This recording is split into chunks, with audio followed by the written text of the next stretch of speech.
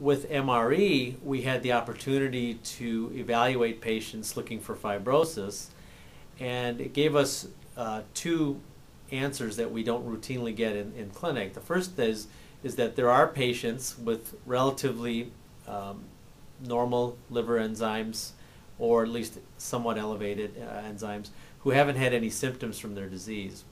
It's always difficult to perform a liver biopsy in those people to determine if they have advanced disease or not.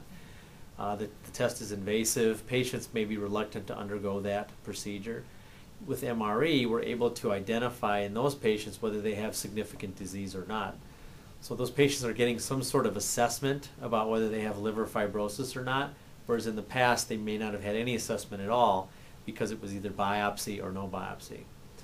Uh, the second group of patients are those who turn out to have features suggestive of cirrhosis that we can't detect from routine testing.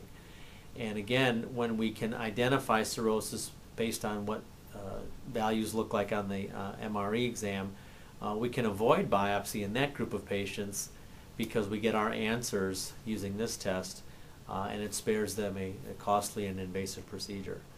Then the third group of patients is where this test really is important. It gives us an, an idea as to whether or not patients may have an intermediate degree of suspicion for, for fibrosis. So if it's not looking normal or you know severely abnormal, that intermediate group of patients um, gets an assessment as to whether they have fibrosis or not. And that's probably the group you want to target the use of liver biopsy in to get an exact sense of how much fibrosis there may or may not be. So the, know, the technology was developed here at Mayo, uh, and uh, Dr. Richard Ehman and his group in the uh, MR laboratory uh, came up with the, the concept and then eventually uh, developed the, um, the hardware and the, and the software uh, to uh, perform this test and, and process the data, uh, which uh, we've now been able to use in clinical practice. The uh, image that's produced that allows us to measure how stiff or soft the liver is um, is called an elastogram, and it's essentially a, a color-coded map of a cross-section of liver that we get from an MRI uh, scan, and it, uh, the color codes are corresponding to uh, varying degrees of stiffness within the liver. There's um, a lot of pieces of data out there which suggests that the incidence and the prevalence of, of liver disease is increasing over time. Uh, the two major diseases are chronic hepatitis C and something we call non-alcoholic fatty liver disease.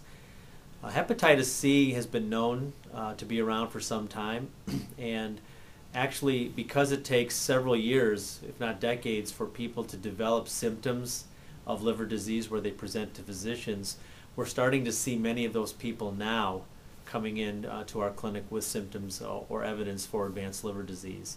Uh, these are people who were probably infected 15 to 20 years ago, uh, but they're now, now turning up. Uh, what that means for us is that these are patients who have now developed advanced fibrosis or cirrhosis. Uh, these are people that may or may not uh, need a liver transplant. Uh, and then there's a group of people in that cohort which are uh, now being identified with earlier stages of fibrosis who might benefit from some of the advances in, in therapy. The second group, which um, is non-alcoholic fatty liver disease, is primarily uh, as a result of increasing trends in the uh, in incidence and prevalence of both obesity as well as diabetes mellitus. And those are thought to be two of the major risk factors of non-alcoholic fatty liver disease. Uh, when you compare the two, uh, the most common disease is actually non-alcoholic fatty liver disease. Um, but, but both, both that and hepatitis C account for the majority of, of liver disease that we see. I think the takeaway message is um, that with this uh, novel technology and its study in various groups of patients to determine how accurate it is in assessing whether there's advanced fibrosis versus lesser degrees of fibrosis. Uh, we've been able to show that uh, magnetic resonance elastography uh, is highly accurate in detecting uh, moderate to severe fibrosis in the liver of patients with chronic liver disease and that um, the uh, variety of patients we see and the variety of liver disease that we see, um, this test seems to be able to perform in all those different settings. And that there are, uh, there's no specific group of patients or type of liver disease uh, that uh, would benefit from this test. We, we feel that um, uh, any type of patient with, with chronic liver disease, uh, where there's a question of whether or not there's advanced fibrosis or not, um, should be able to benefit from this uh, technology.